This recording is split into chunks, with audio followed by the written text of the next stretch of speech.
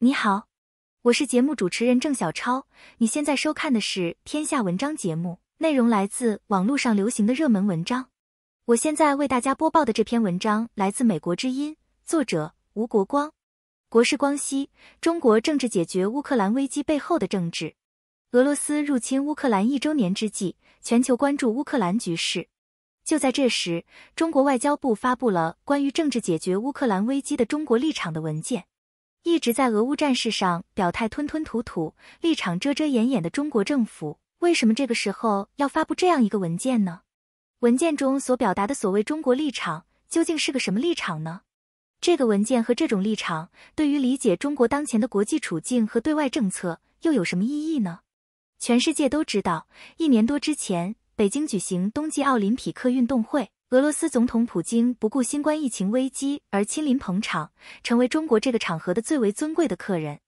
二零二二年二月四日，习近平和普京热烈会见，宣称二人之间实现了新春之约。据中国官方通讯社报道，两国元首深入交流，双方发表了《中华人民共和国和俄罗斯联邦关于新时代国际关系和全球可持续发展的联合声明》，阐述了中俄两国在民主观、发展观。安全观、秩序观四个方面的共同立场，向世界发出了加强对话、增进互信、凝聚共识的重要信号。这话说得漂亮，两国的事情也干得严丝合缝。二十天后，北京冬奥会闭幕的烟花刚刚落下，俄国军队入侵乌克兰的炮火即震惊全球。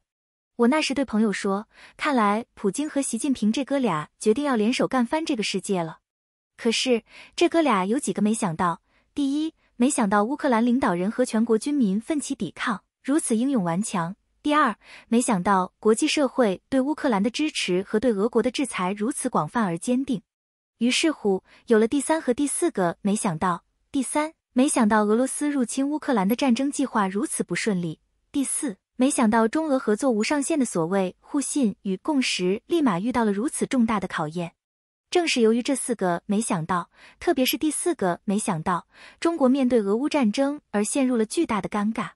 本来是要与俄国共乘一辆战车满世界拉风的，但这辆战车一年来已经被打得千疮百孔，习近平就不敢公然坐上去了。可是呢，普京哪能放你走？本来他就需要中共给他的战争机器输血，现在这等焦头烂额，更会拉住老朋友不撒手。就这样，习近平在普京的战车面前坐也不敢坐，下也下不去，那叫一个进退两难。更大的问题还不在于普京拉住习近平不撒手，而是习近平和中共同样不敢撒手。对习近平来说，若不支持乃至支援普京，一旦俄国在乌克兰战事中完全失利，普京下台的几率极高，俄国政局变天的几率也很高。这一事态如果发生，那将是一九八九年柏林墙倒塌和一九九零年代初期苏联东欧共产主义政权垮台以来的最大历史性事件之一，势必对中共政权形成后果难以估量的巨大冲击。对于自一九八九年以来即奉行所谓稳定压倒一切的高压维稳方针的中共来说，对于突出强调安全乃至为此不惜牺牲中国经济发展的习近平来说，这无疑是一场生死考验。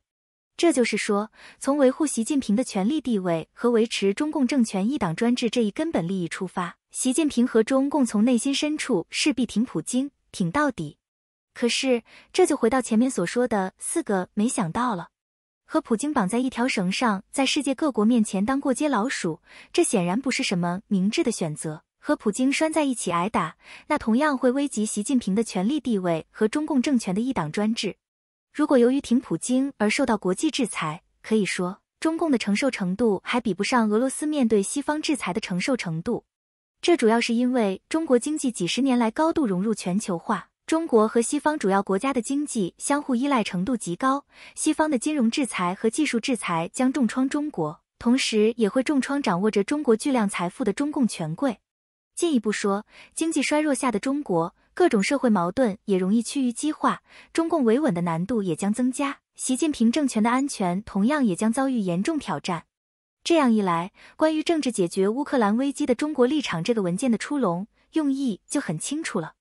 那就是试图站上谈判、和平、人道的道德高地，打算以此来摆脱进退失据的困难处境，进可以缓解普京在战场上的失利，退可以对抗美国对中国的可能制裁。